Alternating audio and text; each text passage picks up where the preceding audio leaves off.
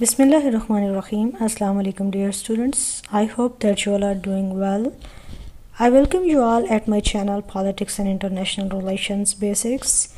Today I am going to explain you a very interesting term that is states stateless nation.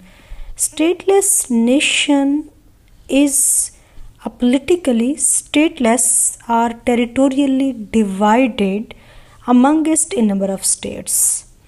एक ऐसी single nation जिसके पास कोई political territory नहीं है या फिर वो डिफरेंट स्टेट्स के अंदर उस नेशन के लोग रहते हैं। अगर हम देखें तो ये स्टेटलेस नेशन एक वैल्यू लेडन टर्म है क्योंकि इससे ये अंडरस्टैंडिंग डेवलप होती है कि ए, इस ग्रुप या इस नेशन की स्टेट होनी चाहिए।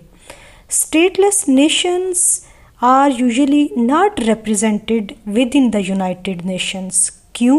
क्योंकि ये जो नेशंस हैं they don't own their own state क्योंकि उनकी अपनी कोई स्टेट नहीं होती है, इस वजह से यूनाइटेड नेशंस के अंदर उनकी रिप्रेजेंटेशन नहीं होती है, क्योंकि यूनाइटेड नेशन के अंदर जो स्टेट है, एक सावरन स्टेट है, उसी की रिप्रेजेंटेशन होगी। बहुत सारी जो स्टेटलेस नेशंस हैं हिस्ट्री में उनके पास स्टेट थी, लेकिन करंटली उनके पास कोई स्टेट इंडिपेंडेंट स्टेट नहीं है। जबकि बहुत सारी जो नेशंस हैं, वो हमेशा से ही स्टेटलेस रही हैं।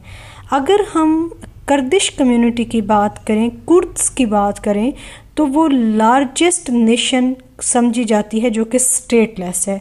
तो स्टेटलेस नेशन में जो क्लासिक एग्जांपल दी जाती है, वो कुर्द कम्युनिटी की दी जाती है कि वो टर्की ईरान इराक और इन तमाम कंट्रीज़ के जो टेरिटरीज़ हैं, उनके अंदर वो डिवाइडेड हैं और उनकी अपनी कोई स्पेसिफिक अपनी कोई इंडिपेंडेंट और सावरन स्टेट नहीं है। टेक केयर अल्लाह हाफिज़